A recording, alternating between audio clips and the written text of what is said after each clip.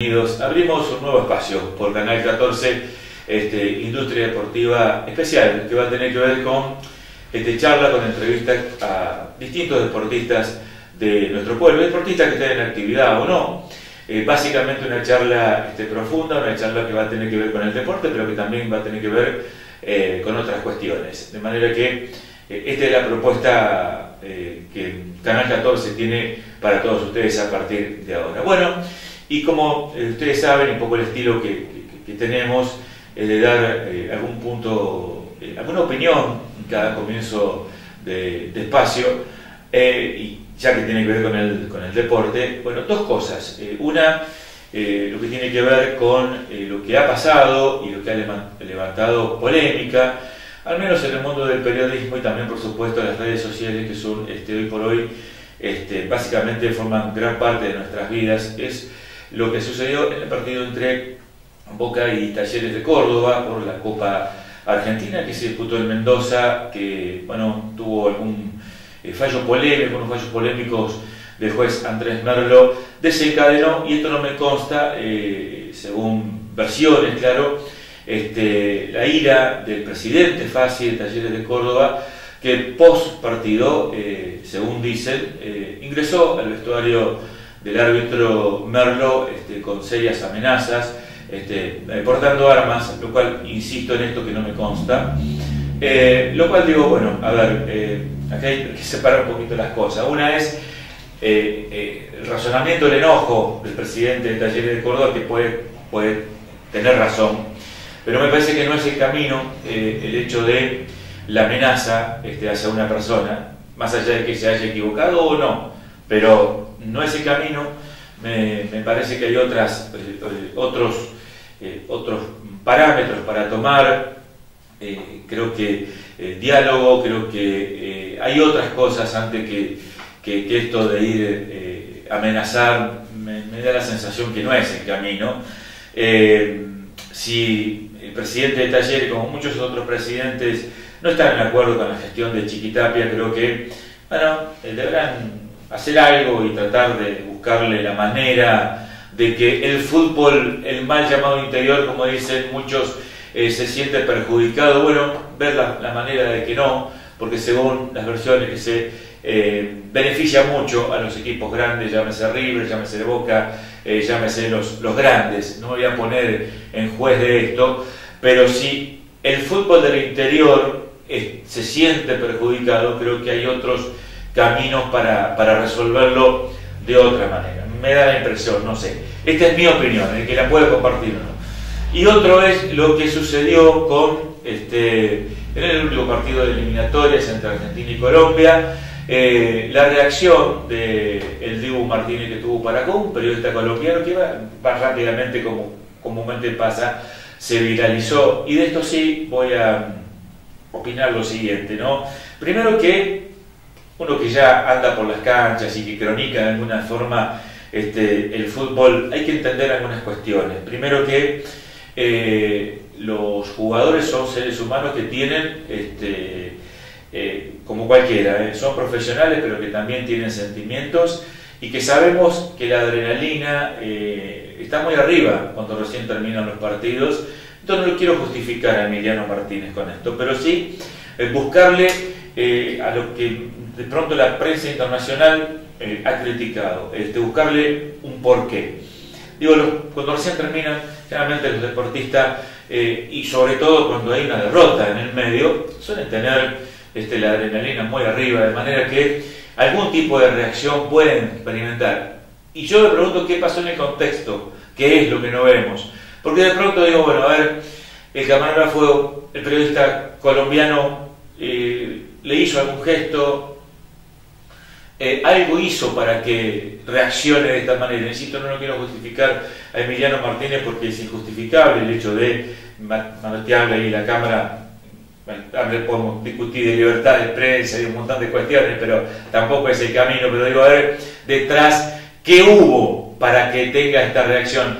Y de otra de las cosas que me parece que también la prensa a veces debemos este, aprender es a respetar ese momento que el jugador este, recién terminado el partido, cuando viene de una derrota, cuando viene de, eh, eh, saber que su país estuvo pendiente, que no es lindo perder, hay que respetar un poquitito en los momentos y después habrá momento para, para, hablar o para charlar, pero me da esa sensación que viene por ahí un poquito la cosa, así que este, por eso digo, no sé el contexto en que pasó esto, si hubo algún gesto provocativo, por eso se ve solamente eso, nada más que eh, la reacción de Emiliano Martínez sobre un periodista colombiano eh, y lo que pasó en, ese partido de eliminatoria de la selección argentina.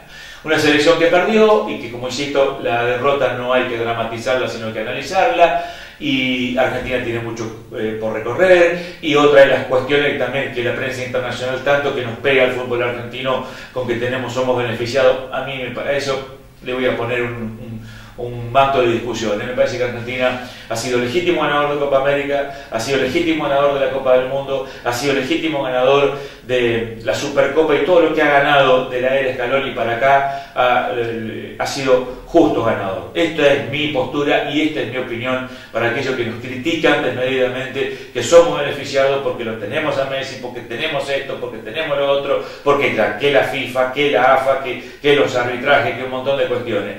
Me parece que no es tan así. Argentina, todo lo que ha ganado este, en los últimos años, lo ha hecho de forma legítima. Así que eso quiero, eh, es mi opinión respecto de la, de la prensa internacional que tanto nos pega y que tanto nos critica a los argentinos. Eh, es opiniones, ¿eh? así que la podrá compartir o no. Bueno, ahora sí, vamos a conversar con nuestro primer invitado de este ciclo especial de industria deportiva. Y como es un deportista en actividad, pero también vamos a preguntar otras cuestiones que tienen más que ver con lo personal. Carlos José Márquez Semeao es arquero, ¿eh? de profesión arquero en el fútbol. Así que está con nosotros Carlitos Márquez.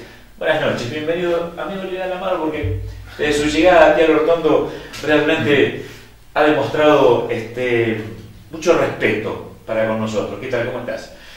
Bueno, primero que nada, muchas gracias por, por el recibimiento. Buenas noches para todos.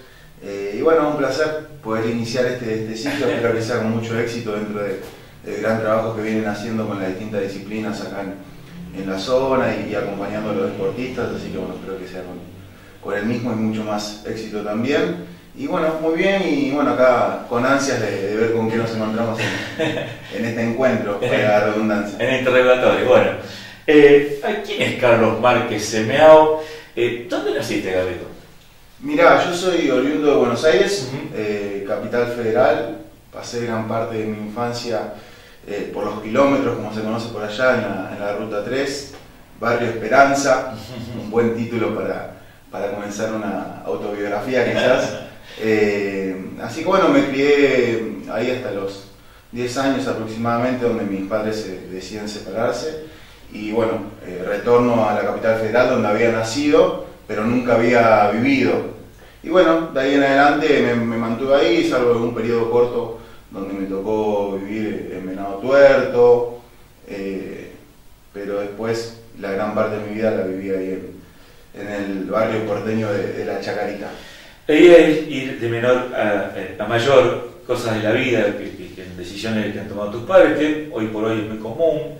Este, eh, seguramente a, los hijos eh, es, un impacto fuerte lo que, lo que sucede cuando hay separación, ruptura de, los padres, pero vos cómo tuviste la relación con uno y con otro, Carlos? Mira, gracias a Dios, obviamente, dentro de, lo impactante que es para, un chico, eh, creo que entendí bien la situación dentro de, mi edad eh, y, no me afectó, no me impactó tanto. también el hecho de que mis padres más allá de que se separaron, ambos estuvieron muy presentes, mi madre lógicamente desde el día a día en la crianza y mi papá acompañando quizás ahora desde otro rol, pero siempre estuvo presente, así que nada para reprochar, al contrario, eh, muy agradecido, ellos habrán tenido sus, motivos para, para, tomar esa decisión, pero sin duda que todo lo que vino después lo llevaron de, una buena manera, siempre transmitiéndome eh, el cariño de uno hacia el otro, eh, mi padre incentivándome a respetar a mi mamá, y mi mamá siempre llevándome a respetar a mi papá, que creo que es lo más, lo más sano, más allá de sus diferencias, eh, poder entender cuál es el respeto y el cariño que uno le tiene que, brindar a sus padres por el simplemente el hecho de ser sus padres y aparte de haber hecho las cosas bien, ¿no?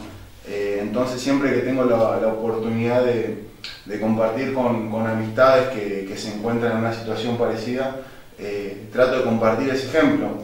Sabemos que hay excepciones en donde quizás eh, no hacen las cosas de la mejor manera y bueno, cada cual tomará su decisión y, cómo manejar en esos casos, ¿no? Pero siempre trato de, compartir este ejemplo tan lindo que dejaron mis, mis viejos y me dejan, porque manejar una situación que es complicada, eh, de una manera a la cual el día de hoy le sigo sacando una enseñanza. Claro que sí, las este, rupturas a veces no suelen ser de la mejor manera, casi en la mayoría de los casos son de la peor manera, donde los hijos suelen quedar en el medio y no es lo adecuado, no es lo, lo, este, lo ideal. Así que bueno, es muy bueno el mensaje que nos deja eh, Carlos, que le dejaron sus padres, aún separados, pero que sabiendo que estaba este, él como hijo y que necesitaba continuar viviendo y crecer. Y, crecer. Eh, ¿Y tus estudios primarios dónde los cursaste, Carlos?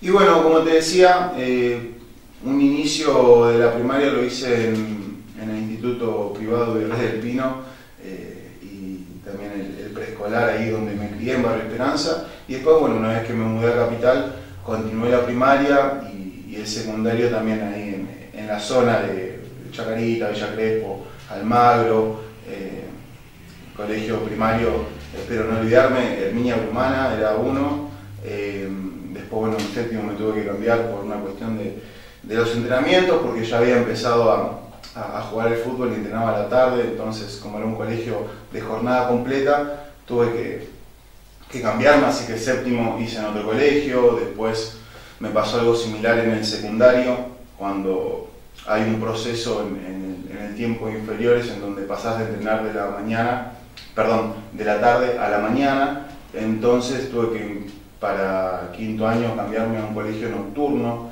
para poder asistir a los entrenamientos porque iba en un colegio matutino hasta, hasta cuarto año y, bueno, así que pasé por distintos colegios, la verdad que, que me iba bien, creo yo que me iba bien, eh, siempre mi, madre dentro de esto que, que te contaba antes siempre me inculcaba que que le dé mucho interés al estudio, que, me ponga las pilas con eso.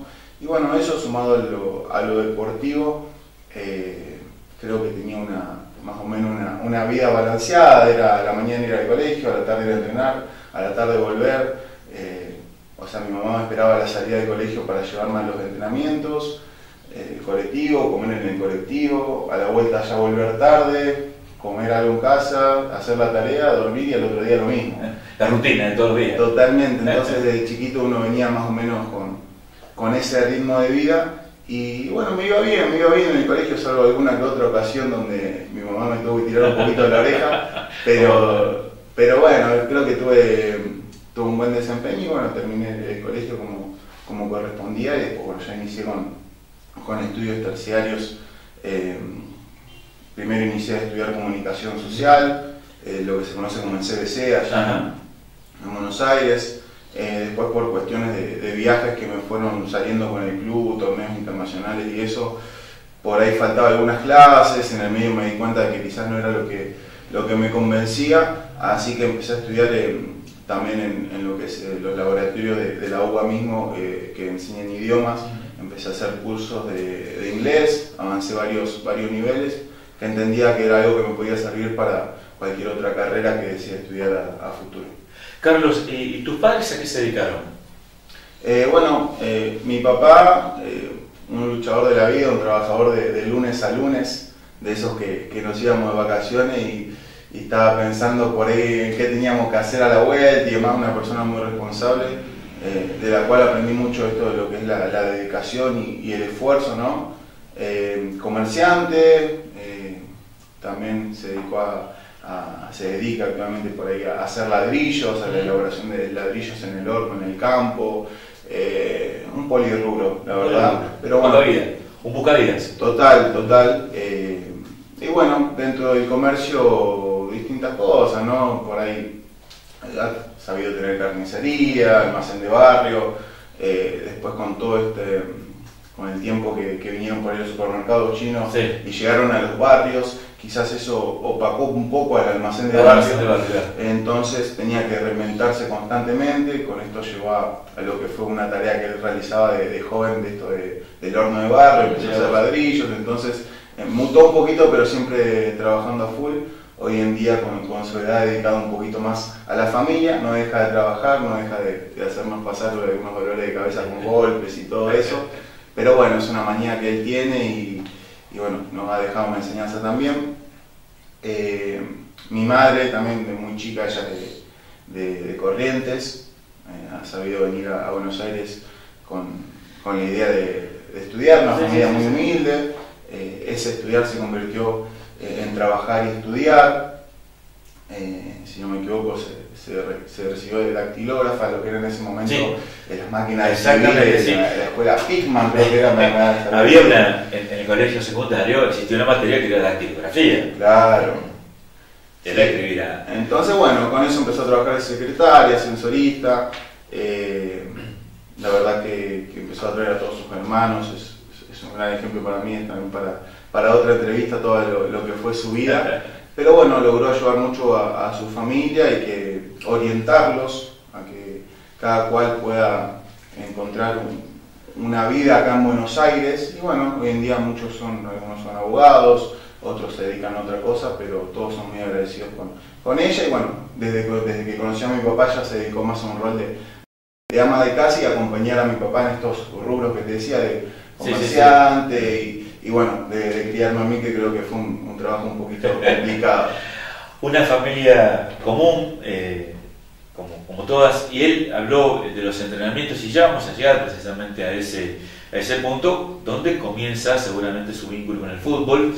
Este, pero también te quiero preguntar, Carlos, eh, ¿vos tenés más hermanos? Sí, sí, tengo, tengo hermanos de parte de, padres, con los cuales llevo una, una buena relación. Eh, y de parte de mi mamá soy, soy hijo único, así que la verdad que, que, el cariño y la relación que construimos es, eh, creo que no, no tiene nombre. Eh, pero sí, bueno, en resumen a tu pregunta, tengo más hermanos y, la verdad que, los quiero mucho. Y si bien no los veo tan, tan seguido, bueno, pues puntualmente ahora me encuentro lejos de casa, ¿no? Pero, pero sí me llevo bien. Tengo una buena relación con ellos. ahora sí, Carlito, bueno, porque vos sos arquero, y eh, dentro de otras tantas cosas que también vamos a ir desarrollando en la charla. Eh, ¿Cómo comienza tu vínculo con el fútbol? ¿Vos de, de, chico quisiste ser arquero o esto surgió en algún momento en algún partido? Mira, es, es, es, una pregunta que, a mí me gusta contestar porque no es algo que, que haya aprendido, no, no recuerdo un inicio puntual de porque incluso me gusta ser arquero hasta antes de entender del fútbol mismo. Yo los primeros recuerdos que tengo es de, decirle a mi mamá que metía una pelota y yo tirarla atrás o tirar la pelota contra la pared y jugar en mi habitación a, atajar, eh, sin entender por de qué se trataba. Intuyo que lo habré visto en algún partido, viendo tele o qué, pero es algo que, entiendo que, que, es innato y, y nunca dudé de mi posición, así que de tanto insistirle a, mi madre fui a jugar en lo que era la, sociedad de fomento de mi barrio, eh, a, probarme. Me acuerdo que la primera prueba incluso eh, fui ahí todo tímido y ni siquiera dije que era arquero, me pusieron a, jugar por ahí, no entendía mucho, hasta que después en, una, en una siguiente, un siguiente entrenamiento ya, ya me ubicaron mi puesto. Eh, mi madre, la que siempre me apoyó toda la vida, yo pidiéndole guantes y mi mamá no sabía qué, qué, darme, no entendía que era el fútbol, eh, que era un arquero, entonces todo un montón de situaciones eh, un tanto graciosas, pero, pero que siempre marcaron, bueno, voy a recaer siempre una, y otra vez en esto, ¿no? fue el apoyo eh, de, mi madre, incluso sin entender, pero como veía que era algo que me hacía feliz, gracias a ella hoy en día puedo, puedo vivir de esta profesión tan linda. Decías estudiar, alternar con, prácticas, eh, pues empezaste ahí en el, Club de Fomento. ¿Y cuánto estuviste ahí? ¿Cómo fue, ¿Cómo fue creciendo tu carrera? Mira, fue todo muy, muy progresivo y con distintas etapas. Voy a tratar de, hacer el cuento largo corto, pero sin perder ningún detalle. Hay, tiempo, tranquilo que hay tiempo. Bueno, mira, yo arranqué jugando en la Sociedad de Fomento, después pasé a jugar en otro equipo también. ¿Ahí cuántos años tenías? Y mira, yo estimo que unos 7 años habré tenido, 7, 8 años. Bien, bien infantil. Bien infantil. Eh, después pasé a jugar en otro equipo del mismo barrio, mucho más humilde que la, de, que la sociedad de fomento, perdón. Eh, era un equipo más, digamos, del fondo del barrio, en donde quizás en algún periodo de vacaciones donde paró el juego en uno, no quería quedarme quieto y terminé jugando en otro lado. Eh, y de ahí empezó esta, empecé a disfrutar más del fútbol, de entender más, muchas anécdotas divertidas en las distintas canchas de los barrios que, que visitábamos. Eh, mi madre también teniendo un montón de, historias de complicidad dentro de, esto, porque como te decía, ella tenía que trabajar por ahí en, el almacén de barrio, no tenía el, espacio para acompañarme, entonces inventándose estrategias para que yo pueda asistir a los partidos, eh, buscando la manera de encontrar gente de confianza que me acompañara. Eh, bueno, la verdad que historias muy, muy lindas. Y bueno, surge una prueba en San Lorenzo de Almagro, me acuerdo más o menos por, esa edad, 9, 10 años. Fui por el tiempo de un mes, una vez por semana, hasta que llegaron las pruebas definitivas, eh, no logré quedar. Y, bueno, mi, padre siempre me, era, es hincha de San Lorenzo, entonces era como el, deseo de él y yo también, o sea, tenía ese, ese sentimiento de club y, por jugar en un club, entonces era como el club que me, inculcó mi padre, poder llegar a, jugar ahí. Eh, no quedé y bueno, fue como una, ilusión un tanto rota, una tristeza, la primera desilusión quizás a esa edad. Eh, pero bueno, seguí jugando en mi barrio, después en unas vacaciones de invierno que vinimos para, para Capital Federal, eh, llegué al Club Atlanta, que hoy en día está en la primera nacional, y averiguando a ver cómo se probaban los chicos y demás. De vuelta a mi mamá sin entender mucho, pero ahí, adelante. años, Total. Eh, y recuerdo que el fútbol 11 entrenaba en un lugar retirado, que había que ir en un micro, bueno, yo era muy chico. Así que terminé jugando futsal, en fútbol 5, que se jugaba ahí mismo, eh, en ese barrio, eh, atrás de, las canchas de, de Atlanta profesional estaban las canchitas. Así que Quedé jugando ahí, iba una vez por semana, viajaba desde mi barrio hasta Capital Federal, más o menos dos horas y pico para ir a entrenar y después iba el fin de semana a jugar.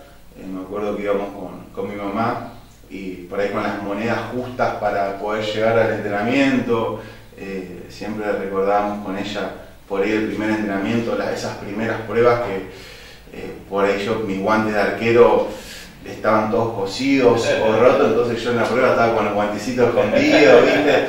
Eh, pero bueno, toda cosa linda que le dan mucho valor a, lo que uno puede y puede llegar a lograr, ¿no? Eh, y bueno, quedé jugando ahí, me fue muy bien, gracias a Dios, jugaba por ahí con una categoría más grande incluso. Eh, pero bueno, el sueño también iba por otro lado, ¿no? Fútbol 11. Tenía un compañero que un día fue a, la escuela, a una escuela de fútbol de Lalo Maradona, el hermano de, Diego, que, abrió su escuelita de fútbol, y le dijo a mi mamá que me lleve. Mi mamá me llevó, ahí conocí a Lalo, conocí a Horacio Jonadi, que era un, entrenador de arqueros que, supo trabajar en Boca Juniors.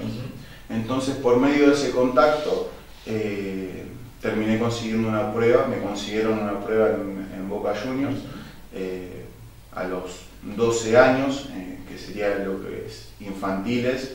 Eh, y bueno, idas y vueltas, la prueba que no se podía concretar, hasta que por fin se pudo concretar y ahí conocí a, Ramón Madoni, histórico cazatalentos y descubridor de, muchísimos jugadores a partir del Club Parque, primero para Argentinos Juniors y después bueno, trabajando para, para Boca Juniors. Y, bueno, me preguntó si quería jugar en Boca, a lo cual respondí con una sonrisa muy grande que, sí, ¿no?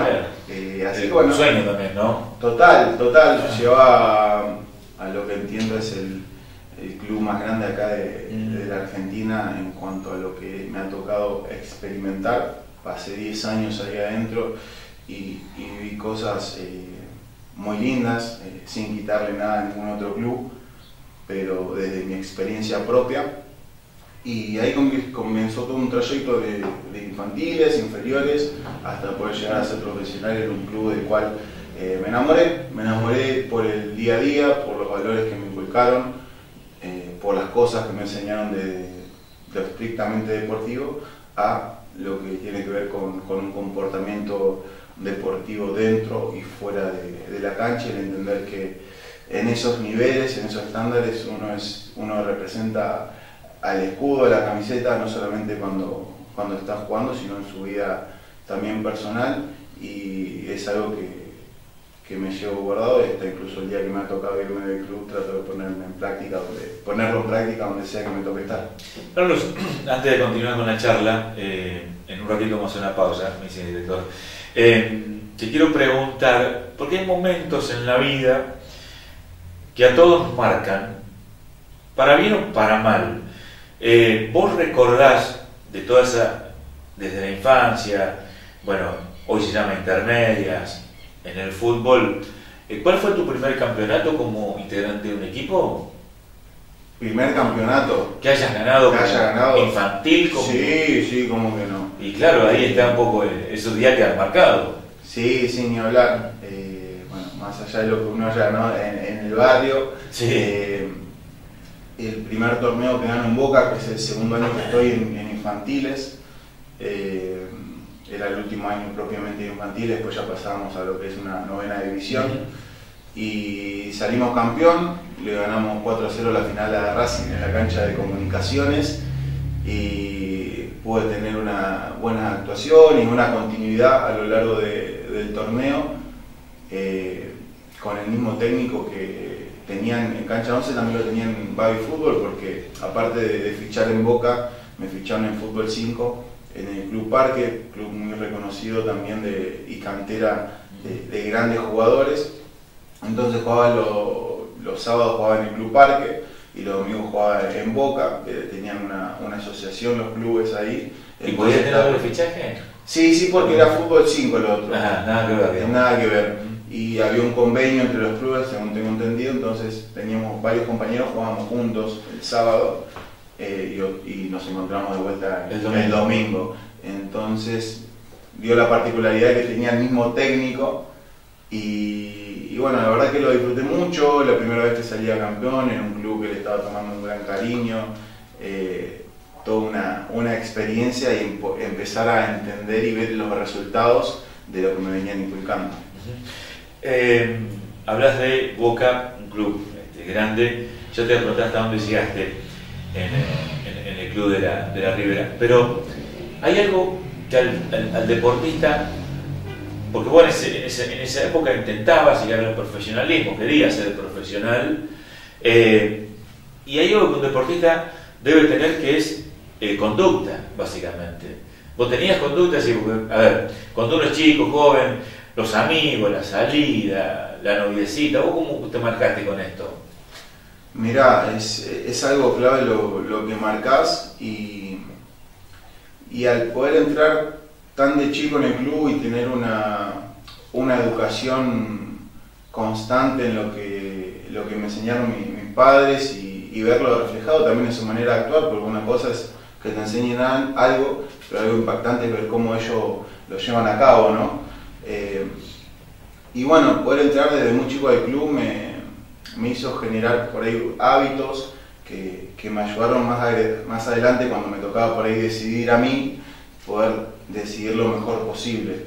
Eh, como te explicaba un poquito antes, eh, fuera de cámara, esto de, ir al colegio a la mañana, a la tarde entrenaba y a la noche ya volvía y hacía la tarea ya otro día tenía que ir a, a entrenar. Entonces por ahí mis amistades eh, eran en el colegio un rato y no tenía mucho tiempo para compartir. Entonces no, por ahí no generaba esos vínculos fuera de lo que era el colegio. De alguna manera quizás eso me ayudó a, no rodearme por ahí de personas que, me quieran llevar por un mal camino y, poder experimentar bien los, resultados de uno manejarse de, buena manera la vida, para que después cuando llegaran esas personas uno poder entender esto está bien, esto está mal, y bueno, uno tratar de decidir lo mejor posible e ir por el, por el buen camino, ¿no? Eh, pero sin duda la, conducta y la constancia es algo que, que multiplica. Yo siempre digo que, que, el talento suma, pero la constancia y la disciplina multiplican, ¿no? Eh, en lo bueno, obviamente. Y, todo eso me, permitió poder alcanzar esa meta de ser profesional en un club grandísimo y al mismo tiempo, aparte de alcanzar esa meta, también me motivó a entender de que, de ese era el camino y, e ir por más eh, con esas bases. Carlos, eh, durante la, la, charla, ¿hacemos la pausa? Hacemos la pausa.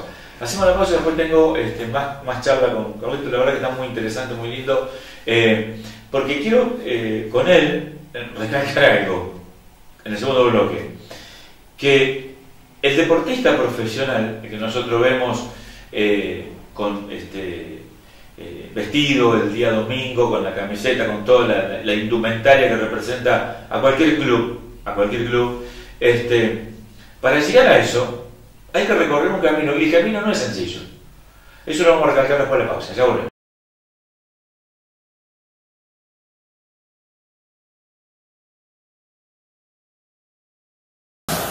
Puro sabor. Suave textura. Sano, fresco. De elaboración natural sin aditivos. Con calidad artesanal. Fabricado con cuidado y dedicación. Don Domingo. Calidad premium.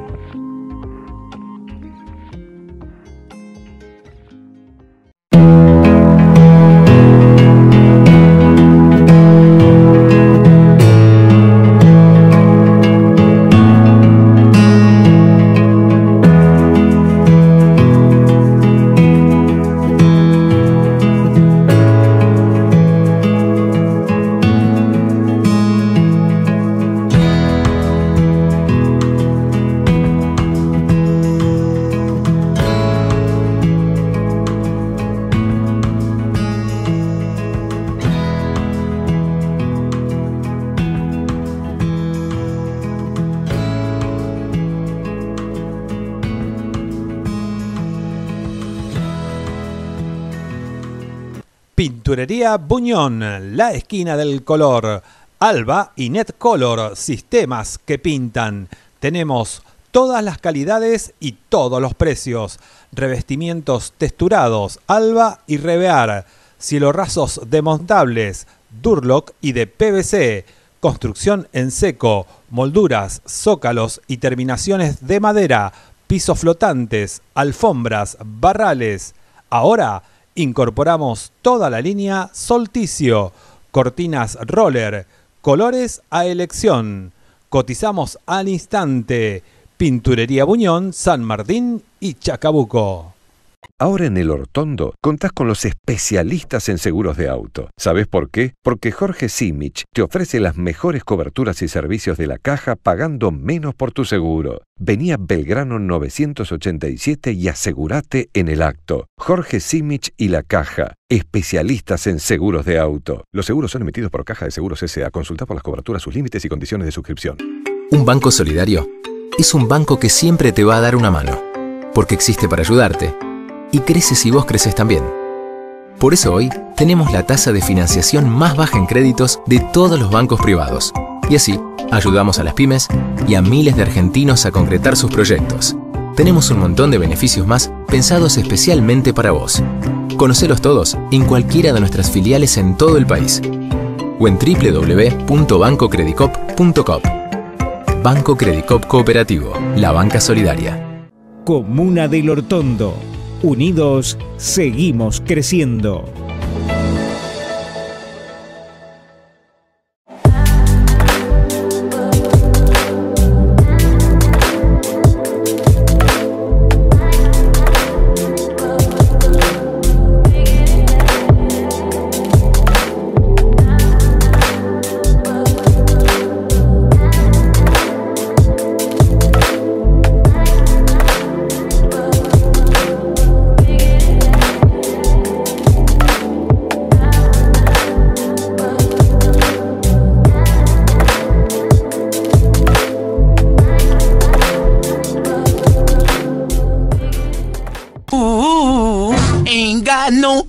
Cremas heladas Copahue te ofrece su línea clásica con más de 40 variedad en gustos, su exquisita línea premium, impulsivos y hogareños, helados para momentos especiales y su más nuevo lanzamiento, helados dietéticos, bajos en calorías, aptos para diabéticos, con el sabor y la calidad de siempre. Informate llamando al 03462 471 810 o escribinos a heladoscopahue.com.ar Cremas heladas Copahue, el sabor sin límites, el hortondo.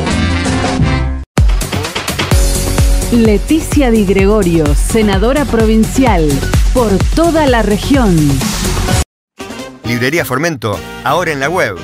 Tienda online de Librería Formento. libreriaformento.empretienda.com.ar La librería más grande del Hortondo te ofrece un amplio surtido y marcas de librería escolar, comercial, artística, atención personalizada a clientes, empresas e instituciones con los mejores precios y medios de pago. Contamos con equipos de última tecnología para que tus impresiones cuenten con la mejor calidad y podés enviar tu archivo por WhatsApp. 3462 367523. La mejor juguetería con las últimas novedades y licencias. Lo último en revistas infantiles. Estamos abiertos todos los días con un horario muy amplio. Y ya tenemos nuestra tienda online para potenciar tu comodidad. libreriaformento.empretienda.com.ar Ahora en la web y en la esquina de siempre. San Martín y Malvinas Argentinas.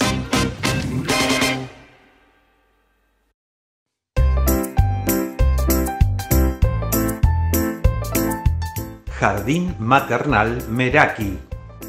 Somos Eugenia Marengo, licenciada en psicopedagogía, y Dayana Castro, docente de nivel inicial. Junto a nuestras docentes, formamos un equipo de trabajo comprometido con la infancia. Recibimos niños de 1 a 4 años, turno mañana de lunes a viernes de 9 a 12 horas, turno tarde lunes, miércoles y viernes de 14 a 17 horas. Consultar por los 5 días. Realizamos periodos de adaptación personalizados, respetando el ritmo de cada niño y su familia. Ofrecemos talleres de cocina, arte, expresión corporal, estimulación sensorial, actividades al aire libre. Nuestros espacios están ambientados y equipados para potenciar el desarrollo de los niños. Nos encontramos en San Martín 387. Para más información comunicate a los teléfonos EUGE 3462 6643 11 y DAI 3462 30 21 19. Inscripciones abiertas todo el año. Te esperamos.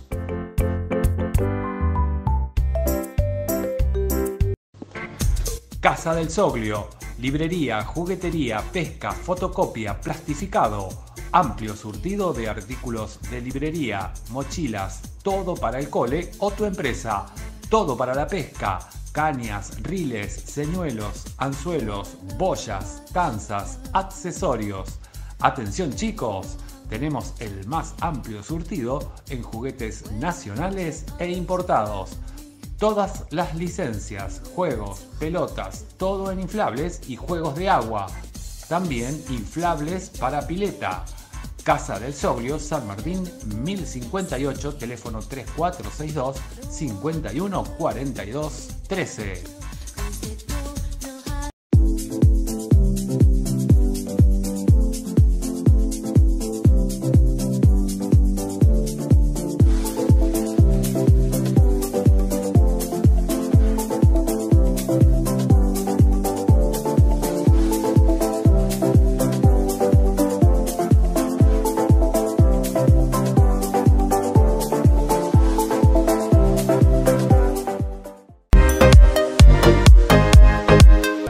El calor, tenés tus heladeras, freezers, aires en condiciones. Areco Refrigeración, Instalación y Reparación. Tu solución integral en refrigeración y climatización. Heladeras comerciales de hogar, reparación y mantenimiento. Aires acondicionados, colocación, limpieza y carga de gas aires de vehículos, reparación y carga de gas, calefacción del hogar, reparación de lavarropas. Teléfono 3462 596729 Moreno 949. Confía en los expertos para mantener tu ambiente fresco y tus alimentos bien conservados. Areco Refrigeración.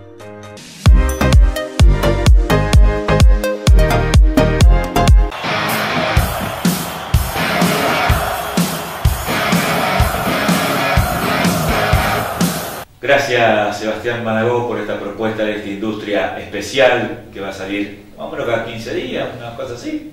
Bueno, algo así, algo va a salir.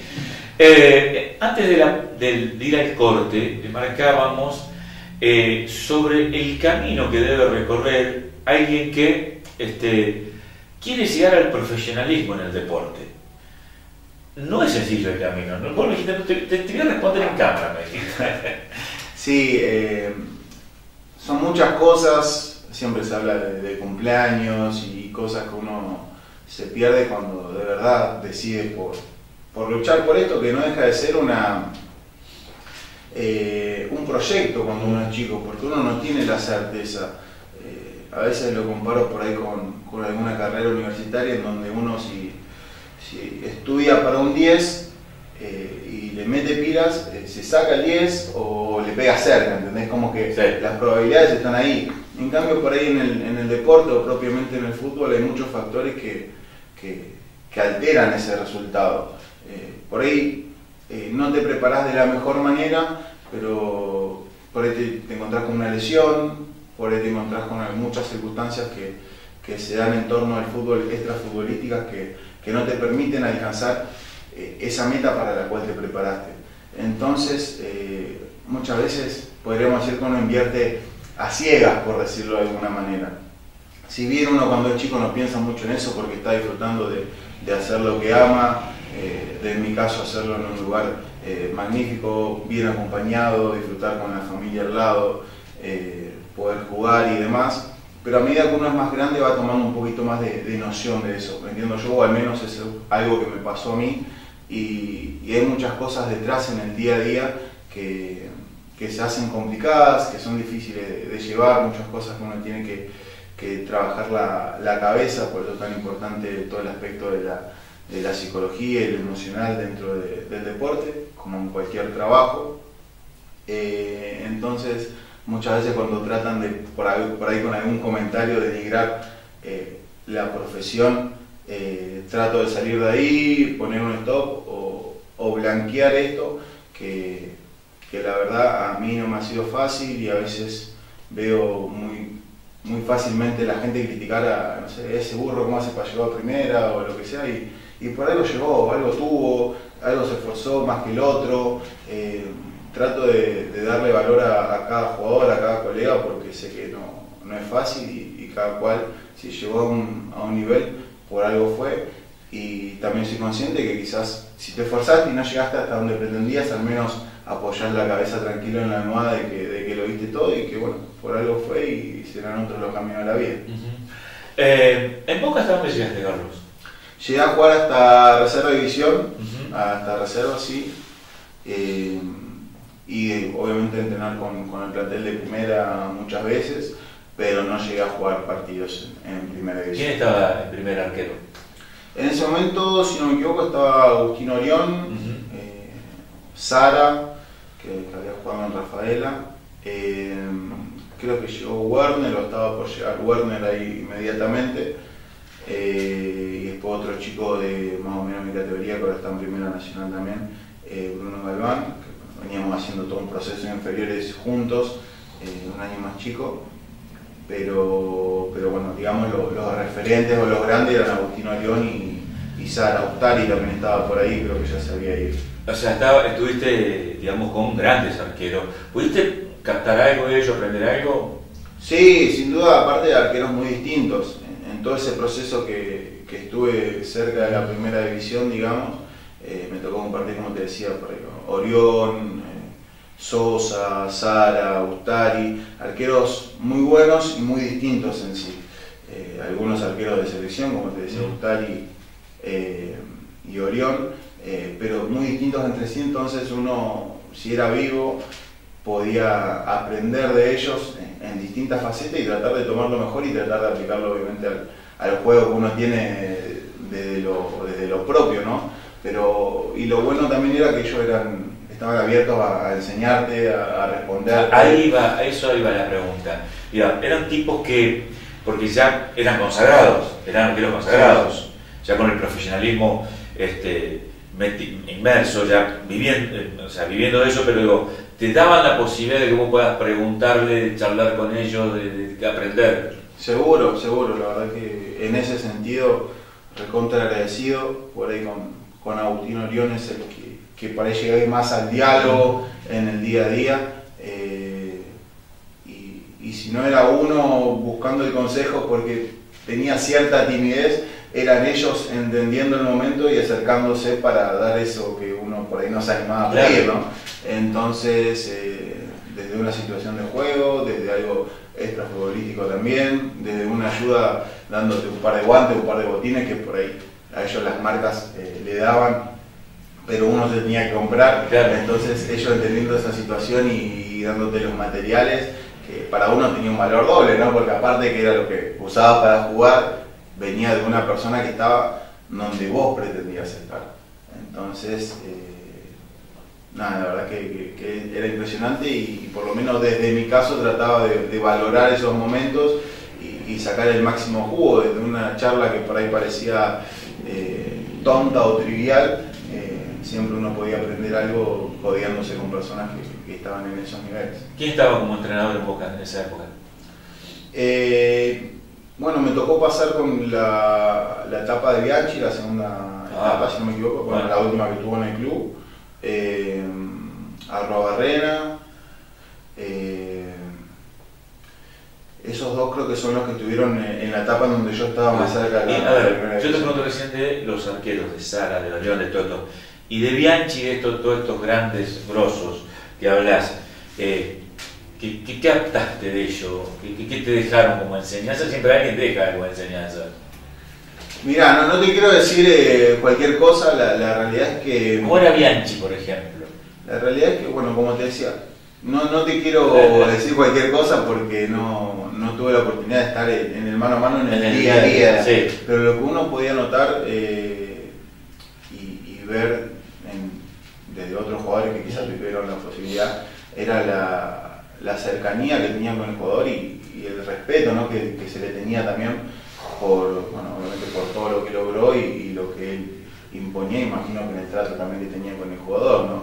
Eh, alguien que quizás en las prácticas eh, observaba mucho y quizás el, rol más activo, lo que entiendo yo, lo tenían por ahí los ayudantes de campo que colaboraban con él eh, y él por ahí entrando en situaciones puntuales probablemente después ya puertas adentro ya era otra cosa, eh, pero sí el, respeto y, la grandeza que, transmitió una persona que, ganó todo en el club, ¿no? Obviamente, no solamente los entrenamientos, sino pasar por el hall del club o cualquier instalación, eh, transmitía eso y, también sabía acercarse al juvenil recuerdo por ahí alguna charla que me tocó tener ocasionalmente con él, eh, un tanto cómica o haciendo algún chiste para generar el momento y que uno hacía que se sienta más cómodo. Entonces después a la hora de rendir en la práctica eh, te sacás esa mochila porque decís... Te saca la, claro, dentro del respeto... Te saca la presión. Total, total, te ayudaba en eso. Entonces, la, la, verdad que, que, a lo mejor sin tener la posibilidad de, de tener tanta relación, la poca relación que tuve me ha dejado muy, muy buenas impresiones. Eh, no me digas... Eh, eh, cuánto, pero primero todo comienza como un sueño, como un proyecto, como una idea, pero eh, cuando el fútbol te comenzó a retribuir un poco de lo que vos le habías dado tanto con sacrificio, con, con, entrega, con la compañía de tu mamá, con los viajes en colectivo, con las monedas, cuando eh, comenzás a percibir algo económico de parte del fútbol, Carlos, sin decirme cuánto? Eh, mira, yo firmo mi primer contrato profesional a los 19 años, si no me equivoco, 19 para 20, eh, sí, más o menos en esa, en esa etapa. Eh, y bueno, ahí es donde tengo mi primer... Eh, ¿Para qué firmas Carlos? Firmo en Boca Juniors. ¿En Boca firmas? Firmo dos años y medio en Boca Juniors, eh, estando en el segundo, arrancando el segundo, terminando el primer año de cuarta división, arrancando para el segundo. yo podía estar un año y medio más sin contrato legalmente porque dos años y medio te permite jugar en cuarta y después de eso sí, obviamente, te hacen contrato, quedas libre. Yo al final del primer año ya, ya firmo mi contrato, eh, venía de una etapa un tanto complicada desde, lo emocional o luchando mucho con mi cabeza, eh, porque a esa edad uno quiere colaborar en la casa, yo veía a mi mamá con... Claro, ahí iba un poco... Sí, sí. Se venía la... tal cual, tal cual, porque, a ver, yo veía a mi mamá que...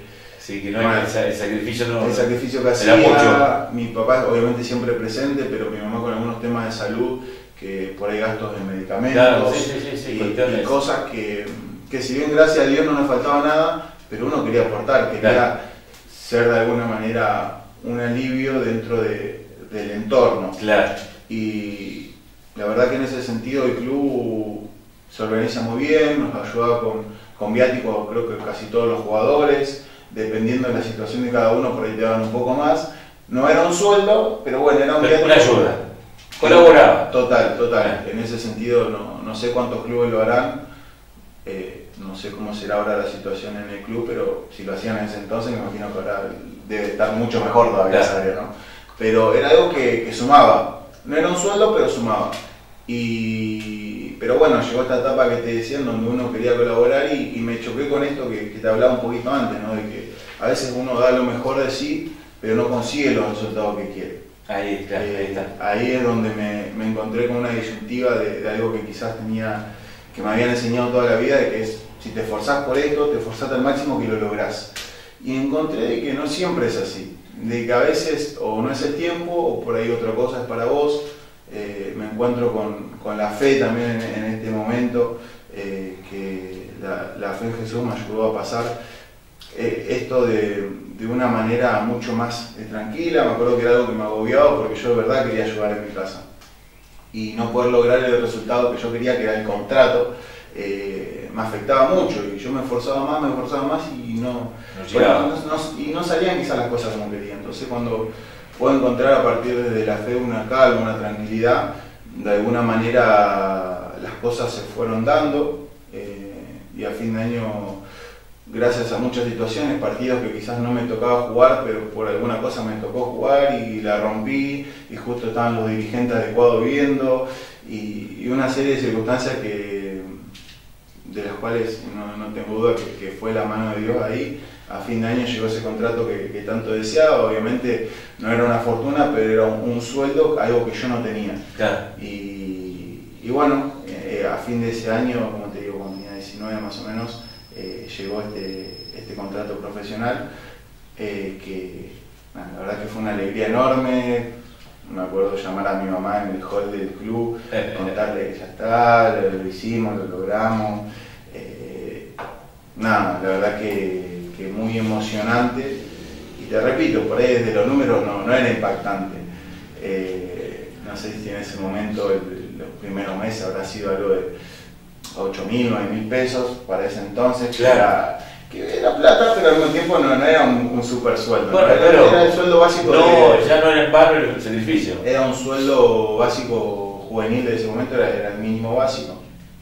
Y la verdad que una, una alegría enorme y muy agradecido también con el club que me dio la oportunidad de ser profesional eh, en un club tan, tan grande, teniendo muchos chicos y, compañeros alrededor que quizás no lograron serlo y que tenían un nivel bárbaro, porque ahí solamente están los, están mejores, están buscando chicos en todo el país, en, distintos países incluso, y todos quieren jugar en Boca, y poder uno poder llegar a, ese contrato profesional, la verdad que, que es algo que, que uno no toma dimensión de, de todo lo que significa. Durante tu, eh, tu periodo en Boca, eh, antes de, la, de, esta pregunta, te quiero preguntar lo siguiente. En todo ese periplo que vos decías, yo sentía que eh, en mi casa debía ayudar. ¿Se te pasó la idea? Pues bueno, listo, hasta acá llegué, dejo, me dedico a otra cosa porque tengo que, que recaudar, que recaudar dinero. ¿Tuviste duda en algún momento de dejar el fútbol? No, no, gracias a Dios no, porque como te digo, no, no eran las circunstancias en donde, donde nos faltaba para comer. Eh, mi papá siempre estuvo para, para ayudarnos, eh, yo estaba haciendo mi- mis estudios, como te digo, no, no es que estaba eh, de vago, Claro, como sí, diría, sí. o sea, pero- eh, ellos veían que yo eh, estudiaba, que estaba en el secundario, que estaba estudiando algo más y entonces me, me apoyaban, no, no teníamos lujos, no, no, no nos sobraba como quien diría, pero el plato de comida nos faltaba. Eh, era una necesidad mía de decir, pucha, quiero llevar a mi casa para ser un alivio, estar un poquito más tranquilos, el, poder tener quizás mi dinero para mis cosas Claro. eh, y ayudar también a bueno, mi mamá que como te decía estaba con estos temitas de salud, por ahí dar una mano de- desde un medicamento y, y todo eso. Eh, pero ellos siempre me dieron la, la tranquilidad de que con lo que había, fuera mucho o poco, me acompañaban en, en esto que yo estaba decidiendo porque veían que, que yo también de- desde, mi acción, desde mi accionar eh, les respondía bien, les retribuía bien. Entonces nunca me faltó el apoyo de mis padres. Eh, digo, eh, ¿recordás en Boca, en tu paso en Boca, el partido más importante que jugaste? El partido más importante que jugué. Seguramente todo ha sido importante. todo. Seguro, seguro. Sí, podría tener dos, dos ver, desde, dos. la, desde la importancia o relevancia del partido, que fueron por ahí los partidos que jugué en, en reserva, eh, inclusive te podría decir hasta algún entrenamiento con la primera división, desde lo que uno, desde lo que ese marco eh, proponía, Sí, ¿no? claro. Con grandes jugadores, Daniel Waldo, Carlos Tevez, eh, entonces a uno lo deja marcado, ¿no? Siempre que, que me hace más o menos la pregunta similar, vuelvo a un momento muy particular que, que quizás desde la relevancia no fue tanto, pero en mi vida significó mucho, que fue un torneo que fuimos Suiza, eh, a Bellinzona puntualmente, eh, un torneo sub-20 o sub-19, y bueno, fue un torneo muy, muy duro, muy parejo, eh, dos zonas de, cuatro equipos, los primeros dos clasificaban, semifinal y final, un torneo cortito. Y llegamos a la final, le ganamos en penales, creo que al Corinthians o al Santos de Brasil, con uno menos, todo el segundo tiempo, viste, ya venía muy picado el torneo. Pasamos y llegamos a la final contra el equipo, contra el Basel de Suiza, que obviamente era el equipo que recibía todo el, todo el apoyo. Hay algunos fallos arbitrales medio dudosos, no echan a un jugador, eh, todo muy, Muy dudoso. muy, dudoso, muy picado, ¿viste? ya llegó al final del, de- del partido muy, muy tenso todo, entonces uno menos, última jugada del partido era, bueno, vamos, vamos a los penales, vamos a bancarla. Eh, y me acuerdo que, que el técnico Víctor Marchesini, eh, que fue jugador de, de Víctor Hugo. Víctor Hugo Marchesini también, Ah, qué jugador, eh, tremendo jugador. crack. Eh, si, si mal no recuerdo, creo que marcaba que, que tiremos la pelota al, al extremo, que era el Tucu Palacio en ese momento, pues con primera división, Sí. eh, hacia, hacia la punta para bueno, ya terminar el partido. Y para que la aguante, digo, un tiro libre casi en nuestro campo. Y no sé por qué él no pica o lo marcan, entonces el central en vez de tirarla al córner, la tira al área. Y la pelota pasa y le queda a un compañero Facundo Cos, que ahora está jugando en, en Venezuela, y le queda contra la línea de fondo dentro del área y, y el arquero se come que va a tirar el centro atrás y él no sé si le pega mal o le pega al arco, pero mete al arco. Y el arquero salió a buscar el centro y fue gol, la- prácticamente la última pelota del partido. Ganamos 1 a 0, un torneo completamente de visitante, con todo lo que venía marcando previamente. Eh, a mí me dan el trofeo de, de mejor arquero de- del torneo. Eh, de- después me dan otro trofeo más también como mejor arquero del torneo, pero por una marca eh, en ese momento Reuch que auspiciaba el torneo. Entonces me dan dos trofeos por, por, por lograr eso. Y, y lo, más, lo más lindo, o a lo que me lleva a los motivos que te decía, más allá de todo esto, que ya es bastante, ya es bastante, nosotros para comunicarnos con la familia en ese momento no estaba tanto el tema de los celulares y todo eso, para el WhatsApp, entonces para comunicarte de allá a acá era, era un tema. Eh, y teníamos una caseta telefónica, se dice, Sí. justo enfrente del hotel que eh, tenía un teléfono público en el cual vos comprabas una tarjeta y, y te podías comunicar. Eh, enfrente del hotel había una, una estación de tren que comunicaba los pueblos ahí, Benizona, con alguno más. Entonces yo me cruzo para llamar a mi mamá de que, de que habíamos salido campeones, Sí, sí, sí. que la campeones, todo, todo. Entonces le estoy contando y a todo esto le digo gracias, mamá, no sé qué, y aguantándome las lágrimas a full. Entonces estaba yo así, aguantándome, aguantándome, alguna se me habrá caído, Seguro. charlando, bueno, una alegría inmensa, corto, salgo de, de la cabina telefónica y venían desde adentro de la estación, venían unos hinchas de boca que habían viajado de otro pueblo a ver el partido, pero como el tren todavía no salía y salía en un rato, entonces fueron a ver si salía el tren, no salía, entonces volvieron a, a la calle, digamos, y me los cruzo. Nos miramos, nos abrazamos y ahí sí, ya empezó, empezó la lágrima libre, sí, total, A total. darle vida. ¿no? Entonces fue, es un momento que, que me, me marcó mucho desde la, del poder comunicarle a la familia que estaba lejos, todo lo que había pasado previo, eh, encima poder salir campeón, mejor arquero, eh, un montón de condimentos que hacen que sea un momento inolvidable. Quizás desde la trascendencia hoy en día, eh, desde lo deportivo visto desde afuera, decís, bueno, pero ¿a qué te llevó eso? Sin duda fue un paso importante para alcanzar cosas después, ¿no? Claro. Pero en mi vida me, me- me marcó porque estaba lejos de mi casa y teniendo un logro que pude compartir eh, con mi mamá, lo que después parece se transformó más adelante en jugar en equipos lejos de casa y, y esperar ese llamado para hacerle decir, che, más gané, más atajé, o más hoy no me fue tan bien y, y pelear un poquito, ¿viste? Pero bueno, la verdad que, que fue muy. Carlos, eh, cada, te voy siguiendo atentamente la charla y espero que del otro lado también. Eh, vos cada logro que tuviste eh, en, en el fútbol, eh, siempre eh, hubo alguien que se enteró primero que fue tu mamá. Eso, eso habla muy bien de vos. Sí, eh, no, me, me emociona sinceramente, disculpa. Eh, Sí, sí, no sé si, tranquilo. sí, yo creo que es, es más mérito de, de ella.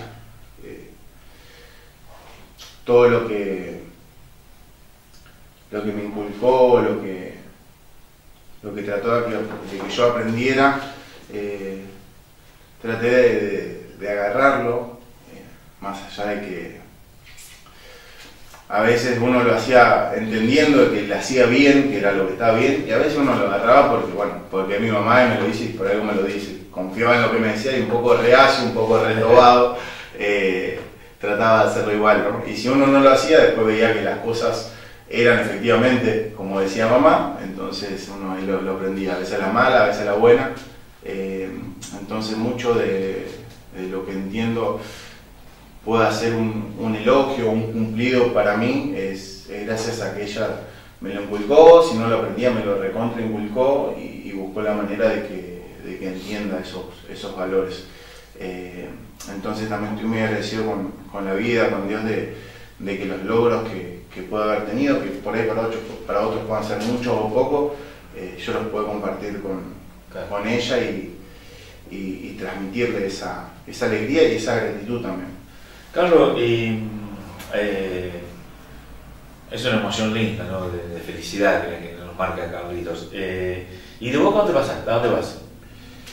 Mira, yo eh, después Boca, eh, faltándome medio año para finalizar mi contrato, eh, por ahí no iba a tener la continuidad que, que quería Claro, o que, sí, o sí, que sí. pretendía, bueno, hablando con, con el flaco Esquial, que era mi técnico en ese momento en la reserva, me comunica esto, ¿no? que por ahí no voy a tener ese lugar eh, y se me presenta esta situación de buscar otra cosa y, y la verdad que era algo muy primero impactante después de tantos años en el club Eh, me, me conmocionó pero al mismo tiempo creo que lo tomé con la suficiente madurez dentro de, de la tristeza eh, Sí, sí, sí. lo tomé con la madurez de que entendía que era algo, algo que podía pasar, ¿no? Claro. Eh, así que bueno, empecé a ver opciones gracias a Dios eh, tuve varias oportunidades o, puertas que se fueron abriendo a través de técnicos conocidos, coordinadores o, distintas personas que me extendieron la mano para, para poder encontrar un nuevo club. También el salir de Boca eh, te abre un montón de puertas. Eh, claro. Yo aparte no estaba en, cualquier equipo. Total, en el, proceso inferiores tuve la oportunidad de, llegar a entrenar con la selección nacional, sub-20, sparring de la mayor, eh, salir campeón varias veces en inferiores, entonces no fue un proceso inferiores en donde... No, no, no, espera, espera, ¿Tuviste de sparring de la selección mayor? Me citaron también de sparring de, ¿De cuál selección? Eh, esto fue en el 2019 creo que fue. Eh, me acuerdo que estaba chiquito, a lo menos lo vi, parecía que medía como 3 metros. eh, pero sí. ¿Jugaste contra la selección mayor como sparring? No, no llegamos a jugar, estábamos ahí, eh, estábamos ahí entrenando, eh, se ve que era un día un poco tranquilo, eh, pero, pero bueno, teníamos los, jugadores, las, bestias que ya era un nivel más, ¿no? ¿Y sí? de, los mejores del país, por decirlo de alguna manera, en Boca, a los mejores del mundo. así que era una experiencia hermosa y ya que estamos hablando de, lo de mi mamá, hasta el día de hoy conservo la, una carta que la tengo a fondo de pantalla en mi celular que es una carta que ella me, hizo, algunas palabras eh, previo a esa, primera citación eh, que, hasta el día de hoy me, acompañan y, me marcaron. Y fue una experiencia completamente única y, por eso como te decía, mi paso por inferiores en el club no es que había pasado desapercibida, sino que entiendo que había sido relevante eh, con algunos logros, entonces poder tener eso en la mochila me permitía por ahí también tener una carta de, presentación, entre comillas, a la hora de, querer empezar Dentro de lo negativo que te tuviste aquí, rescatar lo positivo. Total. Así que bueno, ahí recalo en Nueva Chicago, donde después termino teniendo mi, debut, sí, como jugando profesionalmente en, la primera división. Y bueno, un club del cual tengo mucho, mucho cariño, si bien desde lo deportivo eh, no fueron los mejores resultados personalmente hablando, eh, no pude alcanzar el, nivel que yo eh, entiendo que podía alcanzar, eh, pero sin duda que personas que, un club donde saqué personas que son grandes amistades hoy en día, que me mantengo hablando, utileros, hinchas, así que nada, muy contento, como te decía, a veces uno da lo mejor de sí, quizás las cosas no se ven como uno presente pero eso no es motivo tampoco para, para aflojar, mucho menos, al contrario, habrá que doblar esfuerzos. Exactamente. Bueno, eh, queda mucho por cerrar, pero quiero preguntarte cómo llegás a la Liga Benadense, Carlos. Bueno, puntualmente después de paso por Nueva Chicago, en donde eh, termino con mucho banco de suplentes, incluso un periodo final en donde eh, no, no, estoy jugando ni siendo tenido en cuenta. Eh, se presenta esta disyuntiva, ¿no? De que sí, estoy en un club de B Nacional, saliendo de un club de Nacional, pero con poca continuidad. Claro, inactivo prácticamente. Entonces, eh, la realidad es que en todos los puestos, y más en, el del arquero, los técnicos buscan un arquero con continuidad. Claro. Eh, a esto sumado que yo no quería bajar mucho de categoría y demás, eh, rechazando algunas ofertas que, que, por ahí tenía esperando otras, que quizás no se dieron aprendiendo un poco de este, de este mundo donde me metía de, los mercados de pase, de los fichajes, sí, pan. Yo venía de Boca a estar 10 años en un club y no me preocupaba por nada, ni, representante tenía. Y me encontré ahora en tener que, mandar un mensaje. De, claro, claro, que que buscar. buscar laburo, Exactamente. Y bueno, ahí es donde pasa este periodo y no me estaba saliendo nada, como te decía, las propuestas que tenía o que le ponía una fichita no se dieron y al final de todo, gracias a un entrenador de arqueros eh, formador en, eh, en, Buenos Aires, Hernán Herario, que tiene su, escuela de formación de arqueros en todos los niveles, desde chicos hasta, hasta profesionales, ha sabido trabajar con Maradona en Gimnasia de la Plata, eh, en Tigre, en fin, muchos lados muy reconocidos en el, en el ambiente. Por intermedio de él y un representante me consiguen el contacto de la gente de Jorge Ñuri y de Venado Tuerto, que estaban buscando arquero. Y bueno, yo ya estaba en una situación en donde arrancaba el año, ya no, había eh, muchas chances que digamos, y así que bueno, decidí, decidí ir porque necesitaba trabajar, necesitaba eh, el ingreso y necesitaba jugar, necesitaba jugar. Siempre continuar. y reencontrarme con, con, la confianza, y, con la confianza y esa versión mía que sabía que podía tener pero que no estaba pudiendo demostrarlo. Entonces, bueno, todo este cúmulo de, situaciones hicieron que River en, en, Jorge Newbery, club el cual hoy en día estoy, muy agradecido porque me permitió de alguna manera renacer, por decirlo de, alguna forma, en esta actividad y con el sumar minutos, ir de, menor a mayor, en poder encontrar un, buen nivel, por eso es que, que tan agradecido tan agradecido estoy con, la gente, con su hincha, con, todas esas personas que, en el día a día me hicieron sentir muy, muy cómodo y todas las amistades por fuera de lo futbolístico también que me hice en la zona. Claro. Eh, hay otra, eh, después vamos en, el cierre vamos a hablar de tu realidad futbolística que es aquí en Peñarol de, del Ortondo, eh, pero hay otra faceta de, más allá del, futbolista, eh, porque hay eh, una, faceta voz artística, por así decirlo, Carlos, que, bueno, te gusta mucho la música. Sí, sí, es una... ¿Es, una asignatura pendiente o no es tan pendiente? No, no, justamente mm, esto que hablamos de asignatura pendiente es lo que me, llevó quizás a, dedicarle un poquito más de, tiempo, o no dedicarle tiempo, sino mostrar lo que uno hacía siempre desde muy chico me gustó por ahí lo que es la escritura, escribir, eh, me, destacaba por ahí en los talleres de, redacción del colegio y demás, eh, inventando historias y todo eso. Eh, siempre me fue muy bien y me sentí muy cómodo también a la hora de, contar otras historias en las pruebas de, educación cívica o lo que fuera, hablando de próceres, poder redactar bien siempre me, me apasionó.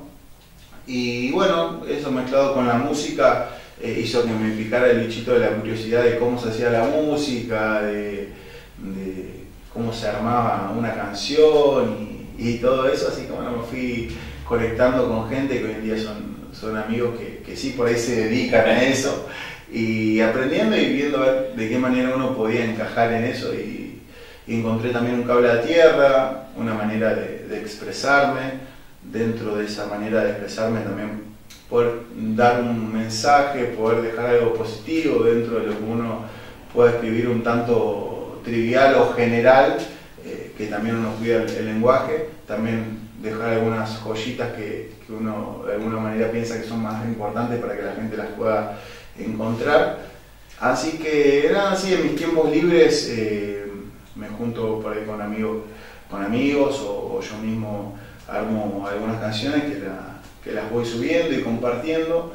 Y como te mencionaba antes, esto de, asignatura pendiente que, mencionabas, eh, es algo que por ahí tenía guardado y que le compartí a algunos amigos ocasionalmente cuando venían a casa. Y como te explicaba, algunas canciones por ahí entiendo que son importantes desde lo anímico, desde un mensaje, y les hacía muy bien, pero claro, yo no se las, no se las compartía, no se las daba para que las lleven. Muy raro que, se lo envíe a alguien. Eh, entonces, el tener eso guardado juntando polvo, entendiendo que si le hacía bien a una persona ya estaba la misión cumplida, dije, bueno, vamos a compartirlo. La realidad es que, el ambiente del fútbol, eh, en ese caso, de alguna manera es muy tirano, porque mientras te va bien está todo bárbaro, pero el día que quizás las cosas, las cosas no salen como, como el otro espera, enseguida buscan a, a qué atribuírselo y sería muy fácil decir, sí, si está paviando con eso, con lo otro, cuando por ahí no tiene nada que ver, pero uno entiende que es parte del juego también. Entonces, por mucho tiempo lo, hacía tranqui, entre amigos, y de un tiempito para acá, entendiendo que, la vida pasa y entendiendo el valor también que podía tener esto eh, en hacerle bien a alguien, eh, decidí compartirlo, obviamente de una manera no tan exfusiva y muy tranquilo, no deja de ser un, hobby que uno trata de hacerlo bien, trata de hacerlo con, excelencia, como todo lo que uno trata de hacer, pero sin dejar de lado la prioridad que, es el fútbol, que es mi trabajo, que es lo que amo, pero el otro también es algo que me gusta y que entiendo que, que puede hacer muy bien, así que separamos un tiempito o cuando se puede le dedicamos un poco de tiempo a eso. Eh, por ahí, a veces incluso hasta ni siquiera canto yo, por ahí escribo para, para amigos que, que lo hacen bien de verdad. Eh, así que disfruto, disfruto mucho de esos tiempos y, y me ayudan mucho. Es un, es un, cable a tierra y una manera más de, de expresarme que, que, entiendo que si tengo la, la, capacidad, si Dios me dio la capacidad, de alguna manera tengo que usar. O, como te decía, o, o escribo para mí o escribo para algún amigo, pero, pero trato de hacerlo porque me hace bien y si le hace bien, aunque sea a una persona, está la tarea cumplida. Eh, para el cierre del programa, para el cierre, vamos a escuchar una canción tuya. Dale, perfecto, ¿Eh? dale. Puede ser, eh, Sebastián, vamos a poner en el cierre, ¿eh? En el cierre vamos a poner. Eh, una, una, una, canción. Y las redes ahí para que, me, busquen en Spotify, que, que hagan el aguante, a ver si somos dos o tres por lo menos.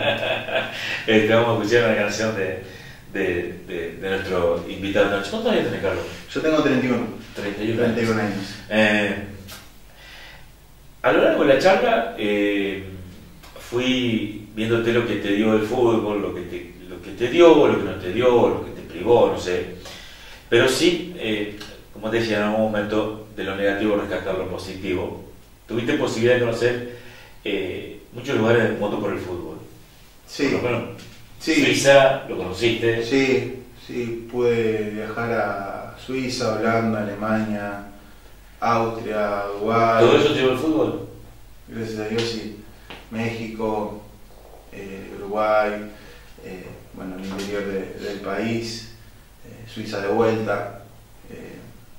Así que. Jugando torneos, bueno, juveniles y, bueno, y todas las experiencias que están dentro de, de esos viajes.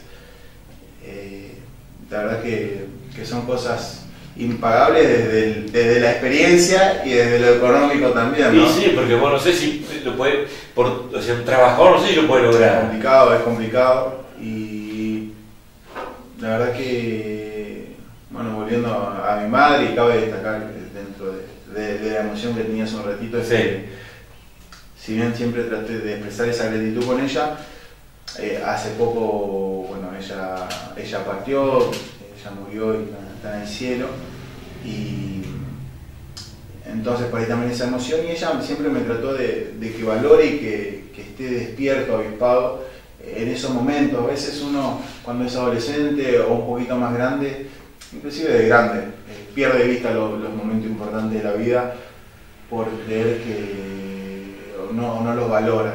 Entonces siempre me, trató de mantenerme despierto dentro de la adolescencia y, y lo que uno podría pensar de, tratar de valorar, de tratar de hacer amistades, de tratar de hacer conexiones, de tratar de, de disfrutar el momento, de entender que no son cosas de todos los días, eh, como uno puede tener el error de, de, pensar. Entonces, nada, tengo muchas fotos, muchas amistades y, momentos que gracias a tener los ojos abiertos puede, puede disfrutar, eh, más allá de, lo deportivo la experiencia y, todos esos viajes, como digo, son, son impagables. Queda todavía una larga, quedan muchos años, el arquero puede, eh, si tiene una buena condición física, atajar por mucho tiempo. Eh, ¿Qué te ves haciendo fuera del fútbol o no te ves haciendo nada fuera del fútbol? Una vez que, que, que ya largo no sea una realidad para vos, ¿te ves vinculado al fútbol? Mira, es una buena pregunta. Lo he pensado, lo he pensado, lo he analizado porque, como decís vos, yo quiero que queden muchos años. Las cosas, mientras uno más con tiempo las agarre, eh, mejor preparado te, te suelen eh, encontrar. Eh, y si bien lo he pensado, no, no tengo una respuesta para, para eso. No, no, sabría decirte ni sí eh, ni no. Lo iré descubriendo en mi caminar, dependiendo de cómo se den las cosas. Eh, sí, me gustaría, no lo descarto, pero no, no es una, una certeza o algo que, que diga quiero ser esto dentro del fútbol una vez que termine la, la carrera. Eh, no, es algo que tenga de, definido y tendría que ver cómo se van dando las cosas también, ¿no? Pero bueno, no, no, lo descarto, me, ha tocado por ahí trabajar con, con chicos en, escuelas de arqueros propias y, también de, otros arqueros, colaborar. Eh, y, me gusta, no sé, todo lo, hoy en día hay una gama muy, eh, un abanico de, posibilidades dentro de lo que es eh, el fútbol, el deporte, de un manager, de distintos puestos en donde uno puede encontrar su lugar. No antes era el jugador, era técnico o listo. Hoy en día hay un montón de, opciones y quién sabe la cantidad de opciones que haya de acá hasta que, hasta que eso suceda, ¿no? Entonces no, no me cierro para nada a eso, pero no es algo que tenga definido todavía. Claro. Eh, que eh, sabemos que sos un hombre de fe. Así es. La fe por sobre todas las cosas. Cuando estaba eh, titubeando por ahí, eh, apareció la fe en Cristo, la fe en Dios. ¿Cuándo te apareció esto, Carlos? Como te explicaba antes, más o menos a los 19, 20 años, en este, en este periodo previo a encontrar el, el contrato profesional, eh, siempre mi, familia fue de, fe, pero entiendo que, como todo, ¿no? La fe y las ganas y el entusiasmo puesto en el lugar incorrecto no llevan a, nada. Eh, entonces entiendo que, encontré un lugar donde depositar la fe y donde entendí de que Dios no es una eh, no es un pedido ya que le pido algo y me llega.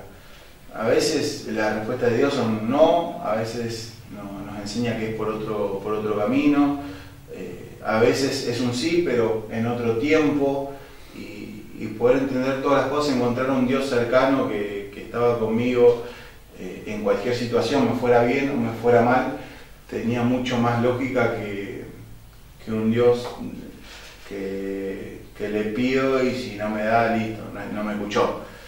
De entender que la vida son procesos y que todo nos enseña y todo nos, construye de alguna manera, me llevó a, entender lo, que es práctico de Dios y que no era algo tan, tan místico o, tan...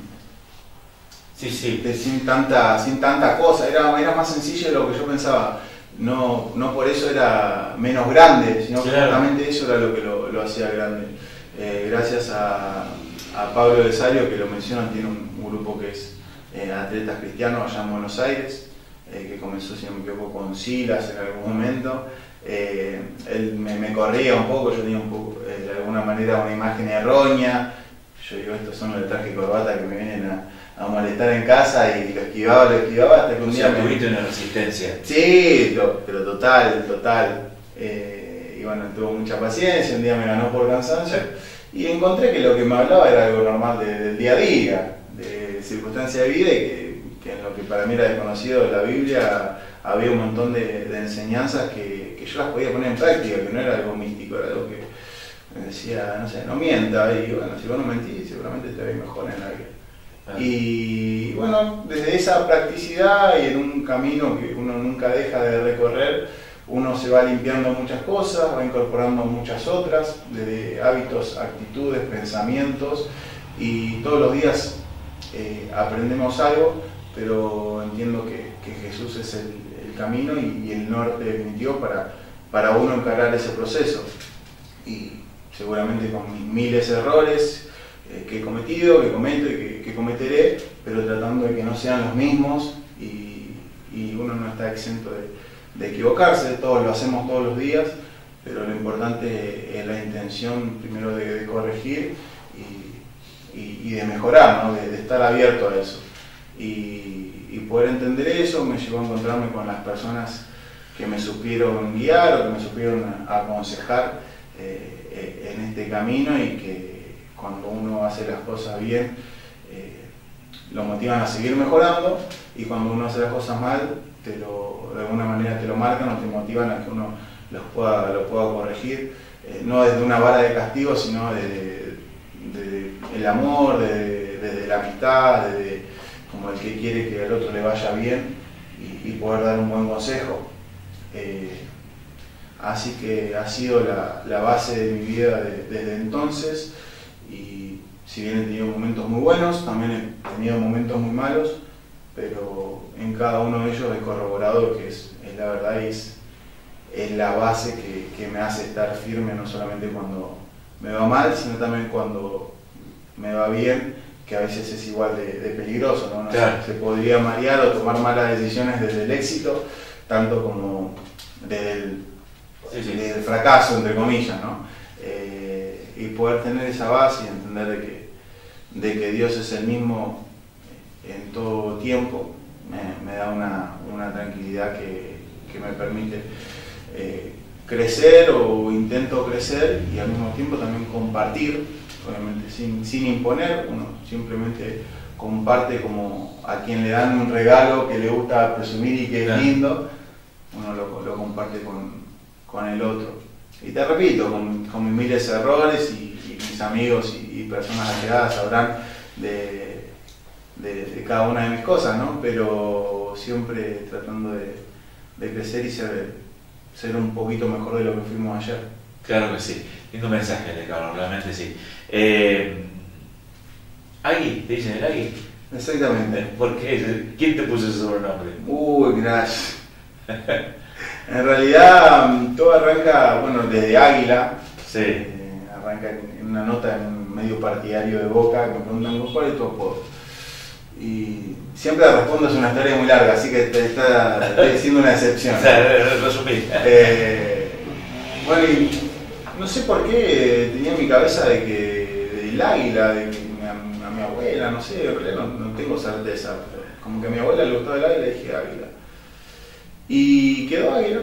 Quedó águila y con el tiempo, pues en este, esto de la fe, fui aprendiendo de que el águila es un, un ave que tiene muchas enseñanzas, que es, es el ave más longeva, que... Ya había una señal entonces. Después fui entendiendo y dije, ah, era, estaba bien, estaba bien. Entonces era como algo que tenía, tenía adentro y que, que estaba bien, estaba bien. Y después, bueno, ahí viene di- directamente del diminutivo.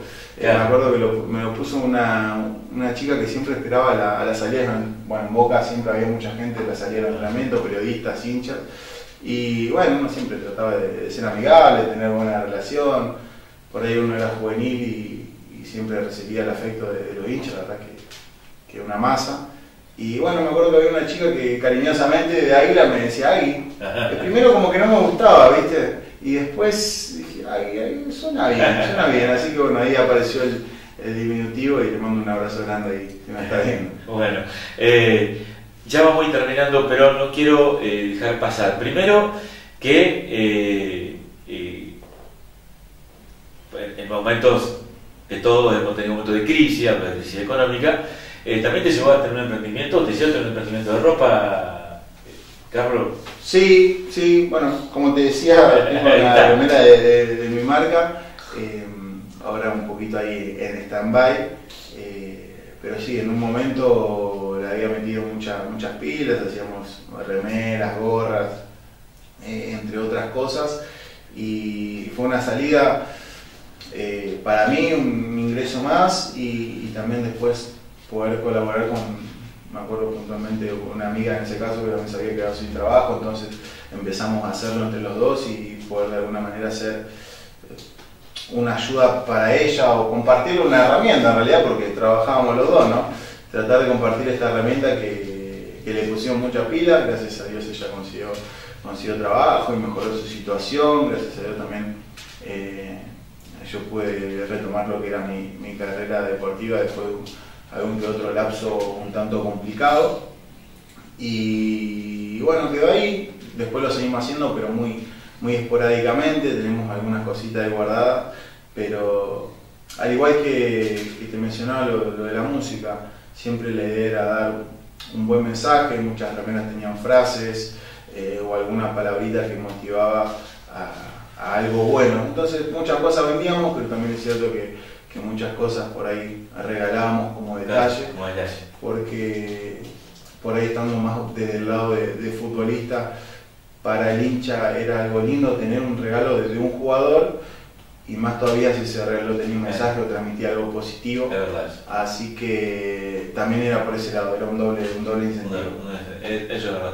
Bueno, sintéticamente, pues no podemos obviar hoy la realidad de- deportiva de Carlos Márquez Semeaos, el eh, Club Peñarol, está transitando en este momento el, el torneo de la Liga Venadense, Eh, bueno, eh, ¿estás cómodo en Peñarol, Carlos? Sí, sí, sí, la verdad que, que sí, se nota, en- bueno, en, en mi día a día, en, eh, acá en la zona, en, las canchas, donde me toca ir a jugar, no solo acá mismo en, en nuestra cancha, sino en cualquier cancha, me siento bien con, con el entorno, con la gente, eh, es todo mérito de, creo que, de dirigencial y, la gente que está en torno al club que quizás no tiene un cargo, pero que apoyan. Eh, eso la verdad que me dejó impactado, por decirlo de alguna manera, ver cómo la gente ama tanto los colores y de alguna manera u otra, teniendo mucho, teniendo poco, colabora. Y eso a uno le transmite, porque uno siente la responsabilidad después de, de ir y responder dentro de la Responder. cancha, ¿no? Hay que Porque uno hace, hace esos lazos afectivos que, que uno quiere Hay también que responderle después. tiene que, que devolver todo eso, ¿no? Más allá de que, de que nos ha ido bien o nos ha ido mal, la gente siempre estuvo bancando, eh, pero uno quiere, quiere darle alegrías, así que me siento muy cómodo, muy bien y, y disfrutando, como te decía, el día a día. ¿Cómo te cayó el pueblo? Como el Lortondo. Bien, muy lindo, muy lindo, me gusta mucho, ya tengo mi, mi rutina más o menos de Armada. la armada del día a día, con, con el Diego y la Nati ahí en, en Extremo. Gym, que, que vamos siempre, te mando un abrazo grande y los entrenamientos y alguna que otra cosa que uno puede hacer en torno a esta amistad que te decía que uno se hace, eh, los días pasan volando y la verdad que, que los disfruto, es una, son un lugar tranquilo, eh, muy lindo, muy cuidado, así que, que disfrutándolo. Listo, ahí estaba entonces Carlitos Márquez Sembrado, se nos ha ido la hora, la hora y pico, estamos ya de programa. Ha sido eh, No, me dice no grabó. un placer.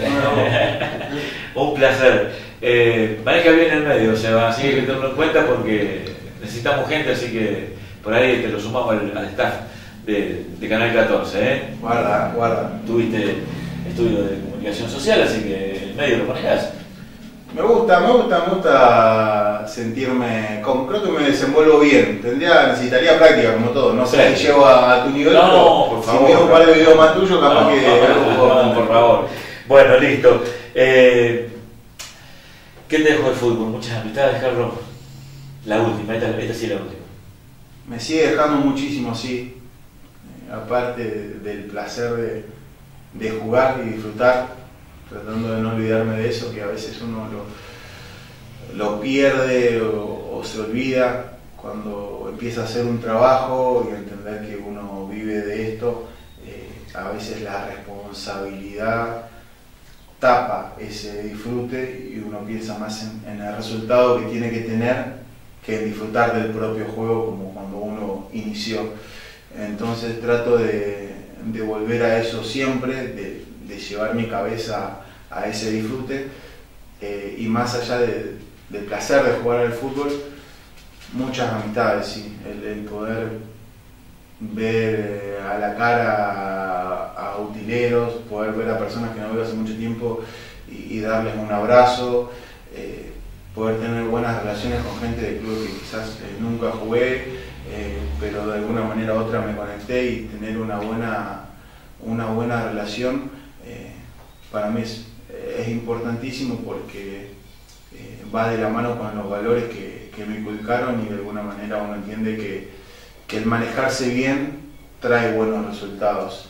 Eh, a veces no ahora, pero a la larga uno todo lo que siembra cosecha. ¿Tengo un tiempo para un ping-pong?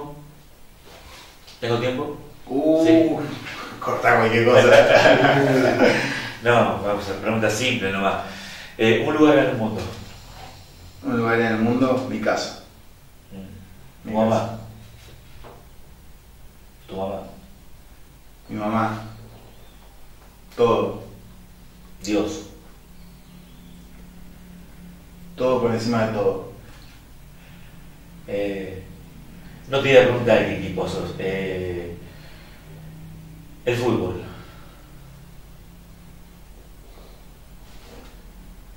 Mi herramienta el estudio. Lo que te potencia. Una comida. Hizo arroz con albóndigas. Una película.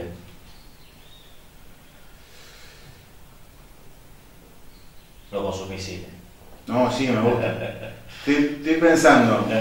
Estás pensando. Entre una que me gusta y una que me gusta mucho el mensaje. La del mensaje. El mensaje. Dios no está muerto. Ah, un libro. Cabe destacar que me gusta también esa, me gusta mucho. La otra que iba a decir era El origen, una de, de DiCaprio que, que es muy enroscada en cuanto a sueños y, y to- y me gusta todo lo, lo elaborado, me gusta mucho. Y la otra, la de Dios no está muerto, me gusta por, por el mensaje que tiene y que es algo cotidiano en día a día. Un libro. Un libro. eh, el último que. Uno de los últimos que me oxigenaron, Ruge de Daniel Javif. eh, está, está muy bueno, tengo que terminarlo. La música.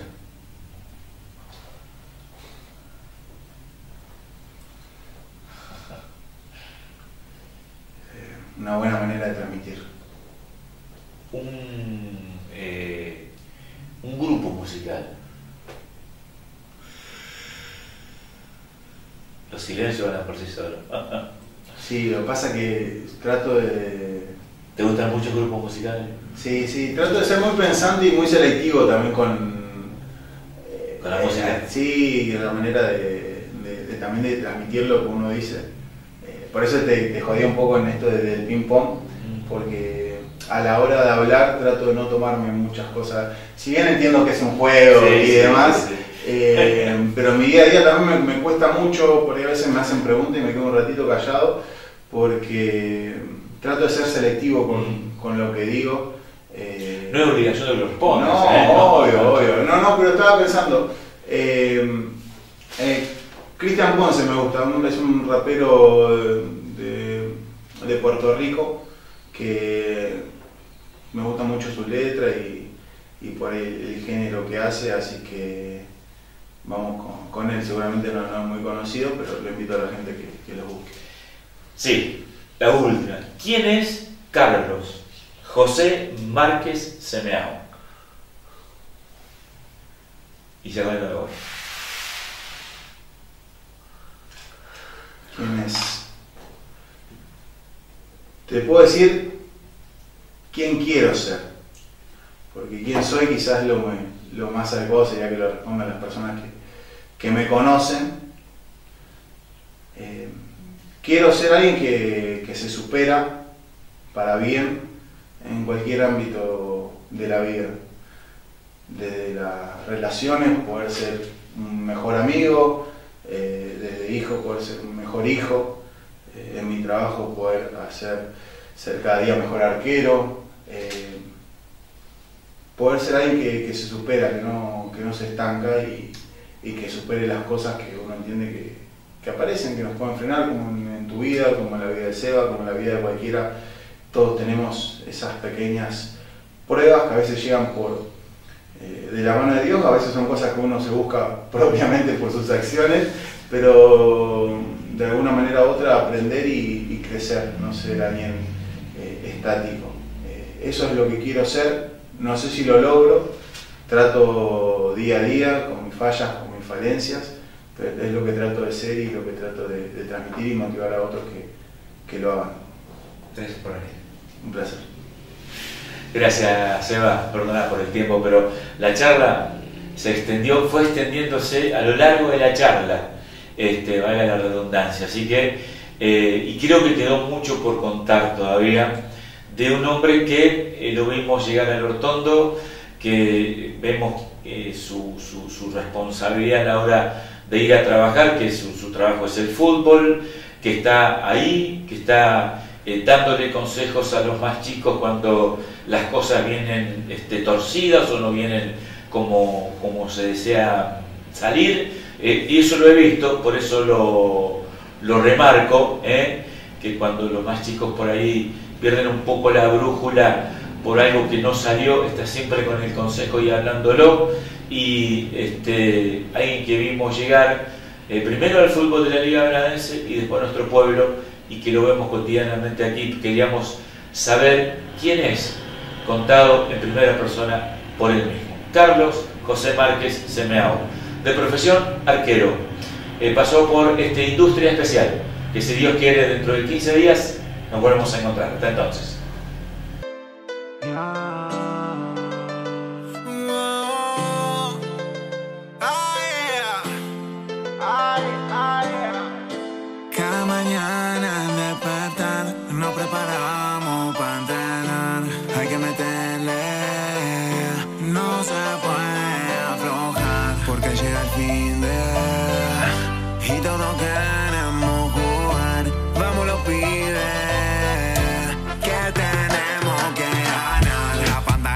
esquina esperando está. Se junta bien temprano